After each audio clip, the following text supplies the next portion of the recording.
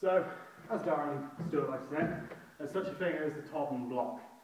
Seeing as I'm the only one here, I can ask someone for throw a punch at me, so a punch is going to be substituted with this big hat full. Now, the Tobin block is a special block, and you've got to be special to use it. Essentially, you're blocking everything with your face.